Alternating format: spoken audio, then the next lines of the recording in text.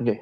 Um, hi everyone, welcome to the Jenkins Meetup. Today we have a presentation by Sladyn Nunes. He is one of our uh, community bridge mentors who was working on uh, JCasC developer tools, in particular Visual Studio Code plugin and uh, YAML uh, configuration validation. So today he will present his work, um, show the demo, and then we will have a lot of time uh, to discuss the project uh, and ask questions. Um, if you have uh, want to ask anything, uh, there is a chat, um, and just ask in the Zoom chat, and uh, we will be asking, Sladyn these questions after his presentation. So that's it from me, and Sladyn, the floor is yours. Yeah. Okay. So, hello everyone. I'm Sladyn. Um, I'm a undergraduate student from Mumbai University here in India, and I've been a student with Jenkins um, as a part of the Community Bridge Initiative.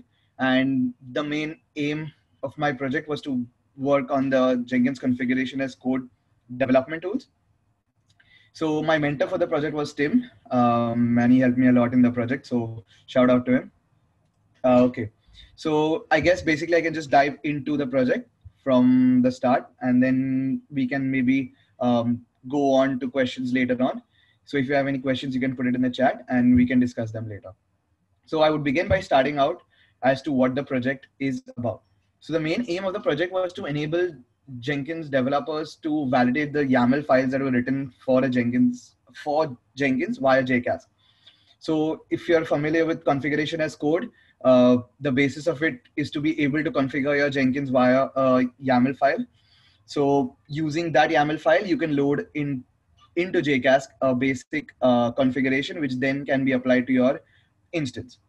So we sought to make life easier for those users by developing a plugin so that they can, while writing the YAML file, do not face difficulties. I mean, that is basically we are so used to programming that maybe we encounter certain problems while coding. I mean, using auto completion or maybe getting red lines onto the editor so that we know that, hey, there's something wrong with our file.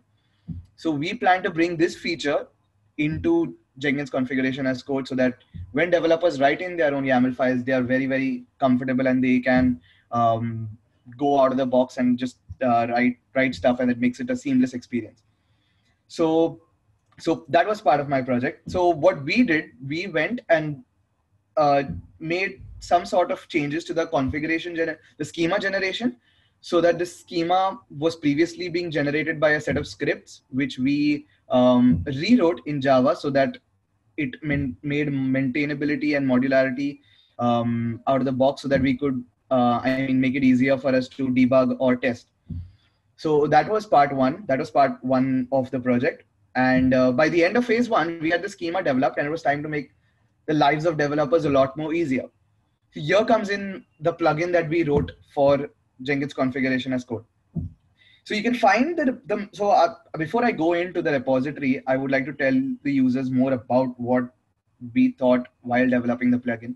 So basically, we went and developed the plugin um, so that it pulls in your latest schema file from your Jenkins instance, and then using that schema file, it could it helps you in auto completion and validation.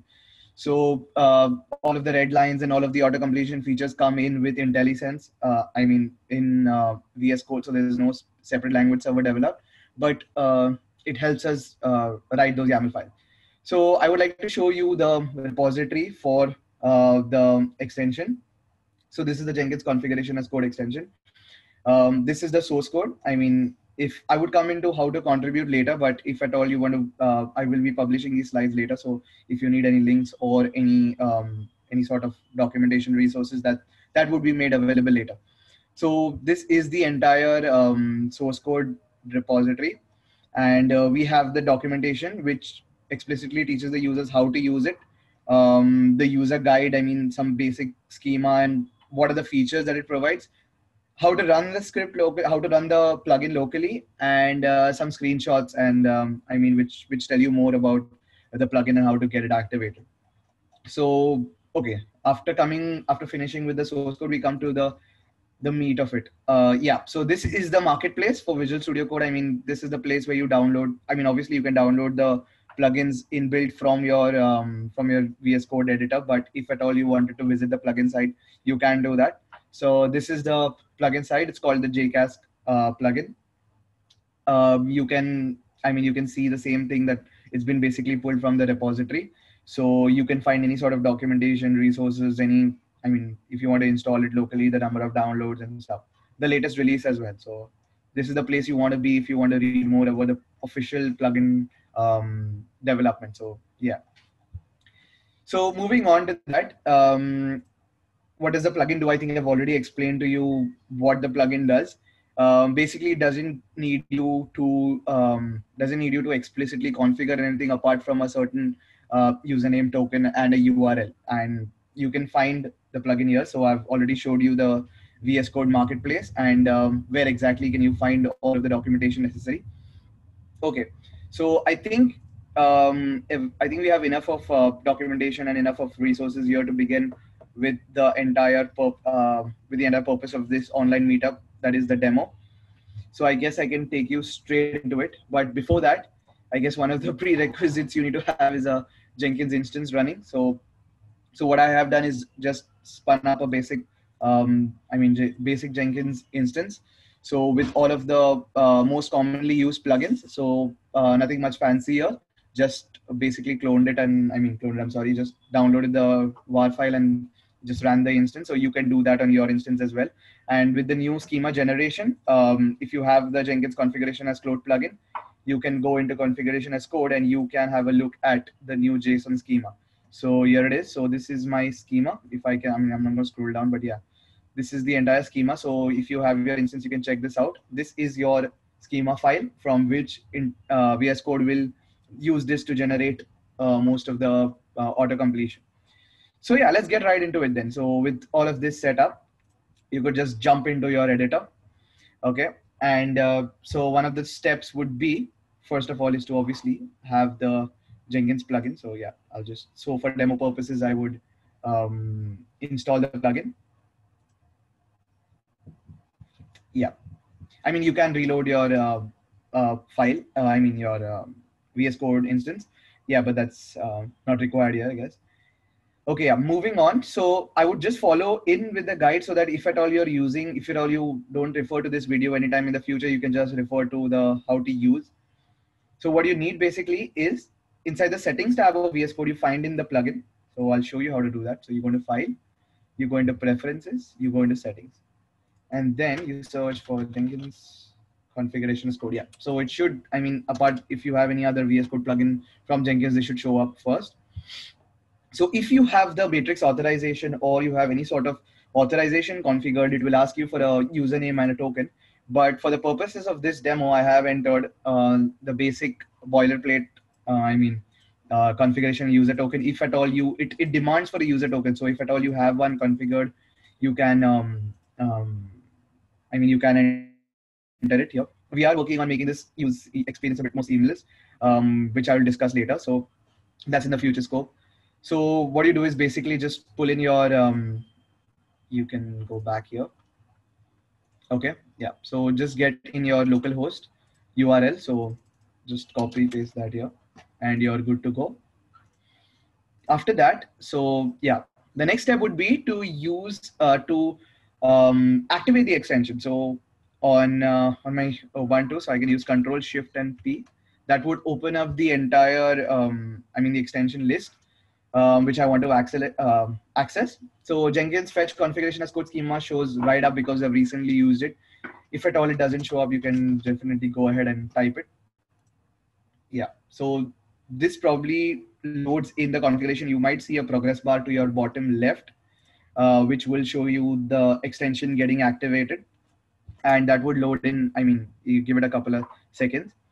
And uh, that should that should probably give you um, the Jenkins, the JCasC schema. So if you go into your working directory, you will notice an entire uh, schema being pulled. So the plugin, I won't go into the uh, details since it's a more of a hands-on demo, but if at all any of the users are concerned with this, you will have a JCasC schema.json generated.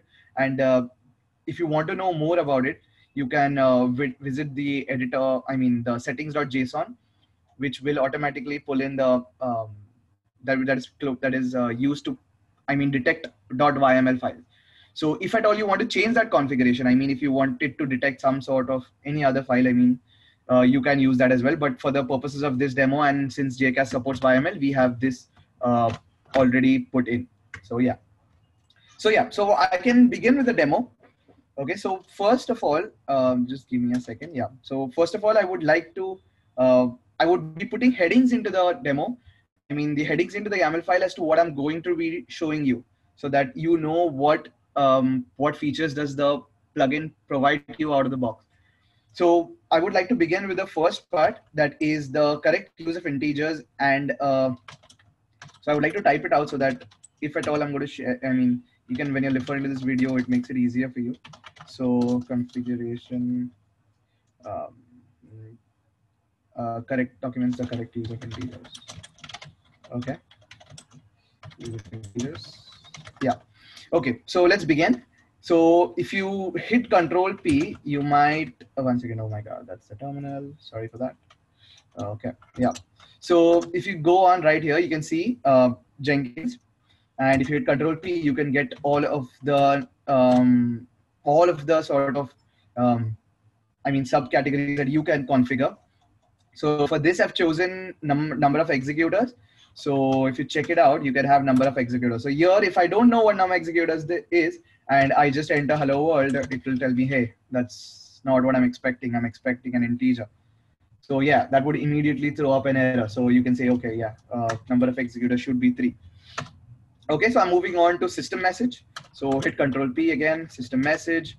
And now, hey, I don't know, maybe I just type in four for some reason and it says, hey, no, you can't do that. That's not allowed you. I'm, I'm, expect, I'm expecting a string here. So yeah, so that would give you the hello world. Uh, and for example, you might get confused with the SCM recount try, and maybe I don't know what that is. And maybe I just enter some random uh, string value, whatever, and then it just tells me, hey, no, that's not what I'm expecting. I'm expecting an integer. So yeah, that you can enter. And uh, one of the things, one of the most important ones here is the um, the use of enumerations. So as a normal user, if at all I don't know what mode is, I might be tempted to enter something like, um, hey, uh, I mean mode, something like hey. And uh, it immediately throws us an error, hey, value is not accepted. Your valid values are normal and exclusive. So the configuration, the plugin automatically tells you that they aren't allowed. And it also may tell you in certain instances what kind of values are allowed if they are enumerations. So in this case, my mode is normal or exclusive. Any other value won't be accepted. So it saves you time writing this YAML file. So you can go in with normal and then yeah, the the the plugin will tell you, hey, everything's fine. Okay, so I would like the next part I would like to demo is the use of documentation. Now this feature is not entirely flawless uh, because we have been working on uh, uh, making documentation more available to the users. That there are certain instances where um, it isn't well documented. So certain parts of your code might not have documentation and you might not know what each and every of those values mean. But hey, we have tried it um, so far. And uh, this part tells us about um, more about how can you learn more about what um, configuration to use. So just forgive me for the spellings. the documentation, yeah. Okay, so yeah. So if you go into security and you go into API token, so it should give us, yeah, here it is. So this should give us creation of legacy token enabled. So yeah, it tells you more about uh, what it is, uh, what legacy token is, what new API, to, what, what it accepts and more about how the developer has written more about it. So if you go to see, you can have it for usage statistics enabled or token generation on creation or any of this sort. Now, let me tell you, there's a disclaimer here that this isn't completely flawless. There are certain times where you may not get this feature, but we have tried our utmost best at including it wherever possible or where there is an open issue in JCasC to be able to include more of this so that uh, we can, mm, I mean, get this more out of the box so that users can know, um, I mean, what, what to, uh, what what are they writing exactly and what each um, what each sub configuration does mean so yeah, this would this would demonstrate uh, more of the documentation aspect of it. Um, I've chosen this. You can choose. You can while writing your files, if you don't get documentation, you can open up an issue and maybe look into it. Okay, so for the purposes of this demo, these are the two main uses of it. I mean, uh, since there isn't, uh, I mean, explicitly any use case which we would like to demo, but uh, what we were trying to overcome is the nesting of um, nesting of uh, configuration. So that has been well achieved here and here. So you can enter whatever is your value. So for the purpose of this demo, I've chosen um, uh, the Git SCM plugin. So one of the most common use cases um, for for it. I mean, most used plugin configuration. And I wanted to take you through how you can write um, a configuration file using this. I mean, I've not cleared the above, but you can definitely, I mean, write a new file from uh, from scratch. So yeah, you can join into me. So if I was a developer and I wanted to write maybe a configuration file for the Git SCM, I would just jump into it directly and um, just begin. I mean, so so yeah. So as a developer, maybe I know that there is one option. Okay, sorry for that. Um, yeah, uh, there is a, something called as unclassified. So hey, so that it tells me okay, unclassified, and now I I would like to choose what is the next value. So I realize okay, I need git SCM. So yeah, git SCM. Oh hey yeah. So that shows me git SCM, and uh, now I would like to know what other fields I can configure under it. So uh, if you if you were probably writing this YAML file before this plugin was developed, you would probably have to look up the documentation or look up the demo. But hey, we've solved all of that, so no hands. so yeah, basically you can use the global config email and uh, enter your email, and then you can okay. So after entering the email, you say, hey, I need uh, maybe a global configuration name, and yeah, that, that there it is. So yeah, I mean you can enter that. So there isn't any regex search here. So just for purposes of this demo. And uh, okay, so then I realize create account based on email. Now, if maybe if I don't know what the value is and I enter something, mm, yes, and then I realize no, hey, I mean it requires a boolean. So, yeah, so yeah, that would accept it. I mean, yeah, it's something wrong. Okay, yeah.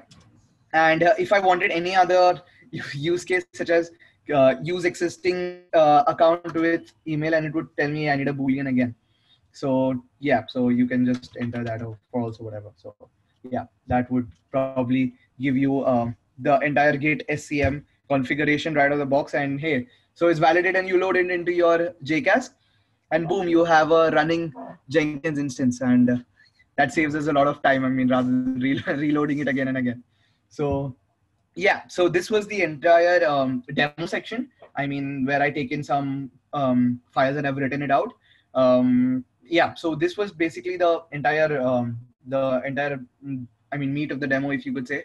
Uh, that is about it. But um, moving on from that, I mean, I would like to tell users about what's next for the plugin. But um, just before I get into what's next for the plugin, I would like to tell users how they could basically contribute to this plugin. So I would be including links in the online meet in the meet. Uh, I mean, in the uh, slide deck and I would be publishing the slide deck so you can have a look at it later on. Um, but yeah, this is the um, the VS Code extension uh, source code, and basically you can open any of the issues here. We have some um, good first issues. Um, you can search them. We haven't any. Um, I mean, we have we don't have a lot of issues here, but if at all you have any feature requests or any sort of um, issues that you would like to raise, feel free to just jump in and open a new issue and we'll uh, definitely look into it. And uh, so this is how we would love to accept, we would love to uh, see some pull requests from you on some of the most uh, desired features for this plugin. Um, we have our uh, Gitter channel as well, which will be linked into the online meetup sites. You can jump in there and I mean ask questions, request for features, and we would definitely look into it. Uh, apart from that, um, I mean, just before I jump into this, this is more of a open discussion but uh, I included a what's next for the plugin. Um, so we wanted to address some of the existing issues and bugs that we have with the plugin, like it doesn't provide some user feedback on certain cases. And uh, there was uh, a common configuration for reuse by other VS Code plugins opened, and we could be were having a look at this. So this is, I mean, this is the direction we want to take the plugin into and it's more of an open focus on new features i mean if at all we could um, develop some sort of an interface where we can where users don't have to configure their settings again and again for different vs code plugins uh, we would be working on that um, so if at all you have any ideas, suggestions, feel free to join in the Gitter chat or feel free to, um, I mean, feel free to open issues. Um, apart from that, what's next on the plugin is more of a community discussion. Um, love to hear from you. And um, uh, thanks for, uh, yeah, listening to my demo. Um, so I would give the stage back to Oleg. Uh, thanks a lot for your presentation. Uh, Yeah. It was uh, really interesting. So one comment, mostly for the record, that uh, we apparently got a duplication of meetings. So we had something like 15 to 20 people uh, strangled at another call with the same URL, and basically we weren't able to do anything with that. Uh, so we will be publishing uh, the recording of this meetup, and uh, we will do a recap if needed. So my apologies to everyone who was affected. Yeah, sorry for this uh, part. yeah, it happens. Uh, yeah, so let's go to the presentation. Yeah, I think it was a really, really good feature, um, and uh, thanks a lot to Sladyn for his work. As we You're said welcome. in the beginning. Sorry. Yeah, welcome. Yeah. As I, we said in the beginning, it was our first experiment with community bridge uh, mentorship. So just to explain, uh, Jenkins uh, gets funding and we facilitate funding through donations. And uh, we used this money to run a, project on our own. And uh, I think it wo- worked pretty well. So we hope to keep doing it so. And yeah, thanks, Sladyn, for all your hard work. It it's not only uh, related uh, to JCasC, uh, Sladyn also helped us to set up some things for Google Summer of Code, uh, for plugin documentation migration, and for many other areas.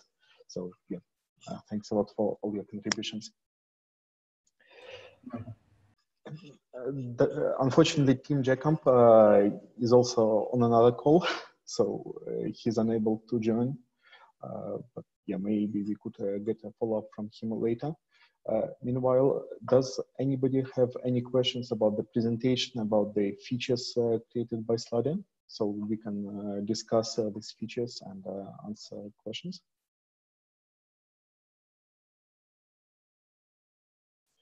If you want to ask something, you can just unmute yourself and uh, ask.